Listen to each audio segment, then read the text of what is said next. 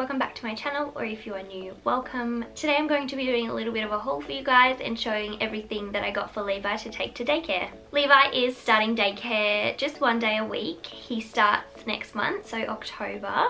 They haven't confirmed the exact date yet, but we should know in the next week or so when exactly he's starting. They just need to confirm a spot for him. I'm hoping it's before we move because that will work out great for us. That means we can get a lot more done while he's not home. I did talk a little bit about why he is starting daycare in my life update, so I'll link that video below for you so you can go and check it out. The daycare that we ended up going with actually provides quite a lot for him, so they provided all the food and all the nappies. We just need to send him with some spare clothes and some sheets and also his bottles and formula. The first thing I have to show you guys are these labels that I got from Big W. I got them on sale for $14. They had a big clearance online so I figured I would order some and give them a shot.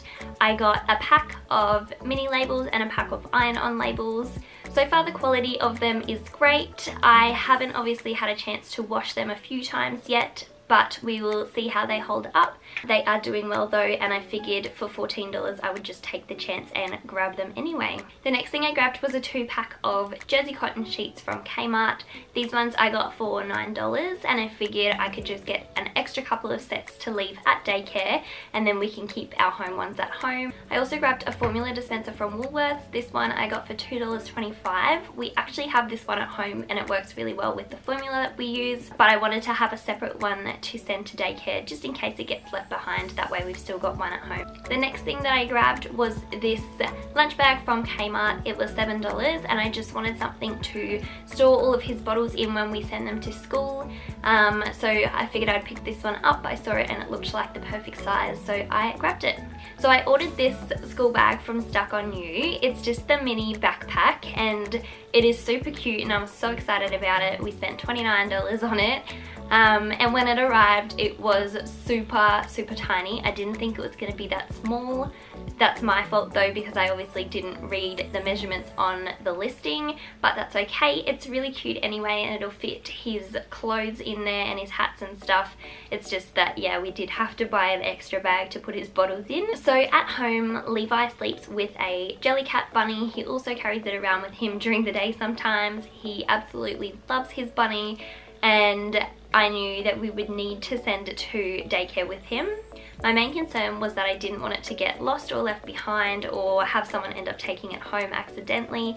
So what I did was I bought a second Jellycat bunny and I had his name embroidered on it. So the Jellycat bunny was $24 and then I paid a lady locally $20 and she embroidered on it for me. The last thing that I picked up was a b.box sippy cup. We hadn't actually used one of these before and I've actually been going through all the different kinds of sippy cups you can buy. We had a straw sippy cup that was a Nuby one, we had a Tommee Tippee one, and then we had one of the Tommee Tippee infinity cups. Levi sort of struggled with the concept of tipping the sippy cup up to get the water out. He's not quite big enough to do that yet. So I decided to try the b.box one because I saw one of his friends drinking out of it and I thought maybe we'll give it a crack and see if it works. Straight away gave it to him and he managed to drink out of it and now he carries it around on the floor with him and drinks whenever he wants water. So yeah, super amazing. We ended up buying a second one. This one is going to be sent to daycare with him so that he can have water throughout the day there as well. I picked it up from Big W for $14 and we also picked up a straw cleaning set for $9 as well. So that's all we have got for now. I'm sure we'll probably come across a few extra things that we need along the way, especially as he gets bigger. But for now, that's all we got for him and I think that that will do us for the meantime. Thank you guys so much for watching today's video. I hope you guys enjoyed. Please let me know in the comments below if there's anything else you'd like to see and don't forget to like and subscribe.